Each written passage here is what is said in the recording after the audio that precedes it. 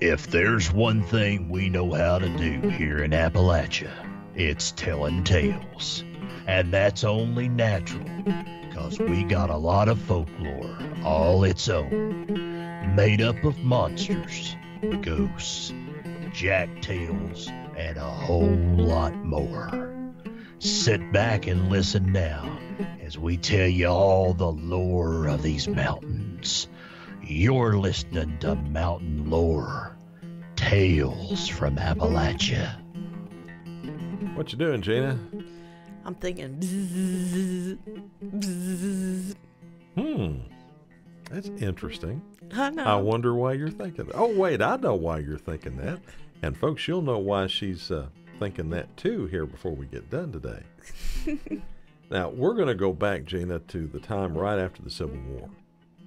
So we're going back in, in time probably 150, 160 years. Hmm. Okay. And those years were busy and prosperous ones for the Appalachian region. And you know why, don't you? Well, do tell me. Well, coal mines were being developed. Okay. Okay.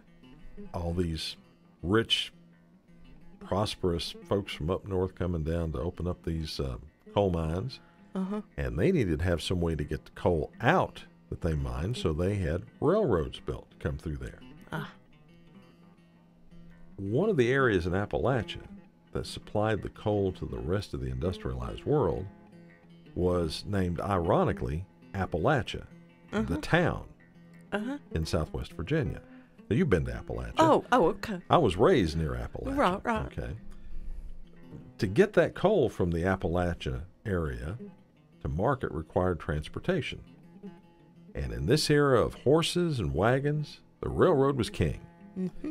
Now, two railroad companies ran lines into Appalachia, the town. One was the Southern Railroad, and the other, the more important one, was the L&N Railroad.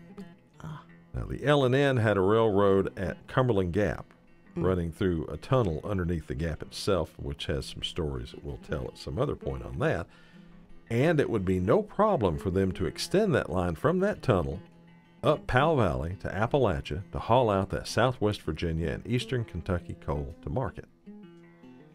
In the late 1880s and early 1890s, that's exactly what was done, with L&N's line running up the valley and then through a narrow water gap called the Big Stone Gap, named for all the large rocks that lay in the North Fork of the Powell River that ran through it. Even so, laying track wasn't that difficult of a job for the L&N workers had experience laying tracks in rugged terrain throughout the Appalachian region. They had one obstacle though, and that was a large rock that projected out from the side of the mountain about a half mile from the town of Appalachia.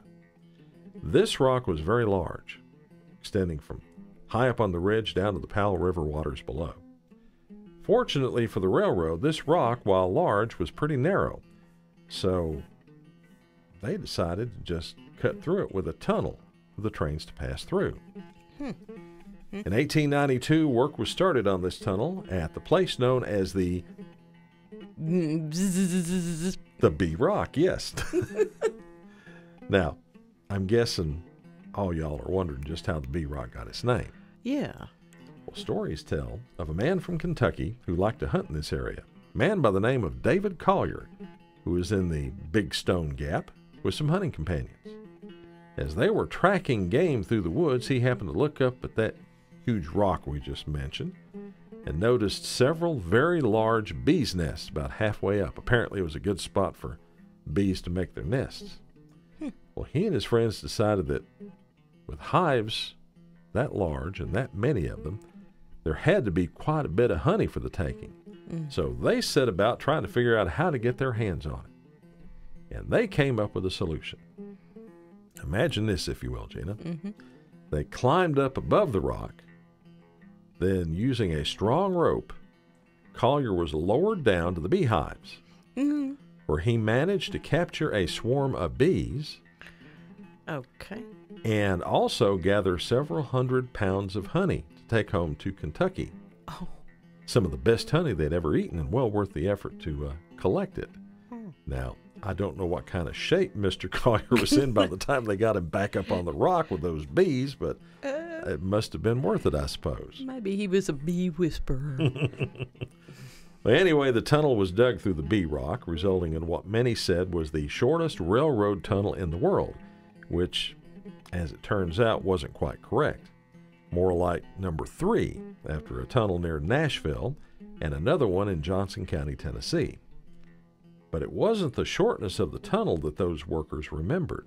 hmm It was the beast they saw and heard. Oh. Yeah, you know we had to get to something like that, right? oh.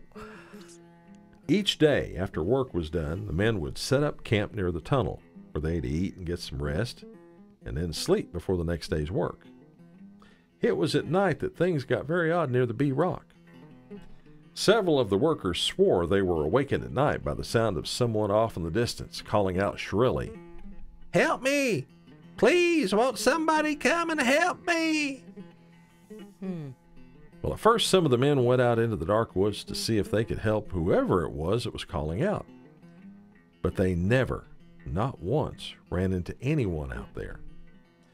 They did, though, hear rustling like someone was walking nearby through the leaves in the woods, but if they called out, that rustling turned into a full out run toward the river, but it was too dark for anyone to see.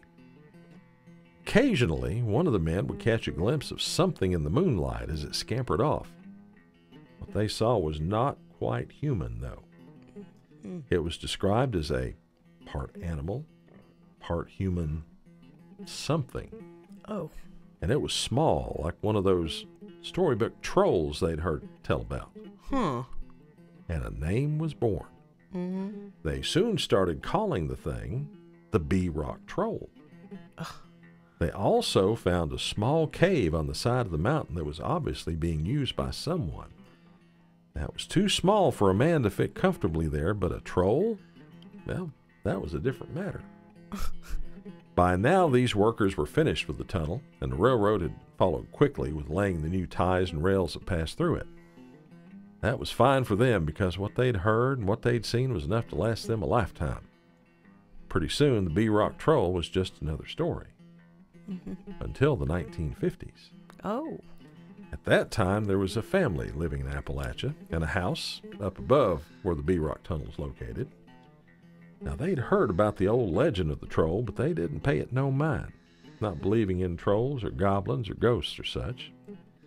Then one evening, when the moon was full, the head of the household, who was out in his yard, heard a shrill voice coming up from below near the tunnel, just as plain as day. Help me! Please, won't somebody come and help me? Startled, the man listened closely, and up came that voice again.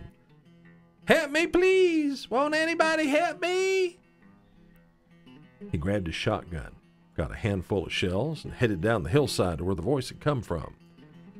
Once there, he fired his gun, then fired again. And he saw in the moonlight the figure of a small, beastly looking thing running away, darting from one tree to another as it headed toward the river.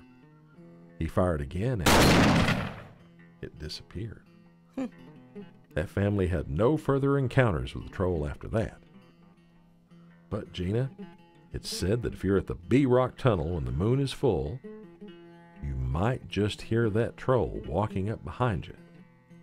And you'll see him scamper past you like a bolt of lightning, hollering back at you, Help me! Please come and help me! Oh my. so that tunnel still exists? Yes, I've been up there. Have you? Yeah, actually, you know, if you're watching us on the YouTube channel, you, you've been seeing pictures of it as we've been telling this story. But yeah, it is now a walking trail Uh-huh. uh, from Appalachia. You can go to Appalachian Park, walk across the railroad bridge, and about a half mile down there, short, easy walk, is the Bee Rock Tunnel. So you hadn't gone when there's a full moon at night to see? That's your next I'm not trip? going to say, although I guess the statute of limitations is passed, but I have been up there many a time back in the 1970s when it was a live railroad line, but uh, we're not going any farther than that. Okay. But it's it's a it's So- a fascinating place, and I will tell you, there's another tunnel just down that trail called the Callahan Tunnel. Uh-huh. It's longer than this one, not a whole lot longer, but it's longer. The wind will blow through it. And when I was up there, Oh. when you walk through it, Uh-huh. leaves will blow up behind you, and it sounds like there's somebody scampering behind you, and the wind will go at the speed that you're walking. So it's like it feels like there's something walking behind you Ah. all the way through that tunnel. You think maybe that's one of those trolls, huh? You never know. Mm-hmm. Maybe the Bee Rock troll has gone down to the Callahan tunnel. You never know. Another trip to be had, yeah. And folks, that's our tale of the Bee Rock Tunnel, another source of the folklore from this place we call home, Appalachia. Thanks for listening. You can subscribe to the Mountain Lore Podcast at Apple Podcasts, Spotify, Audible, Stitcher, or on your favorite podcast app. Till next we meet. Sweet dreams, podcast listeners.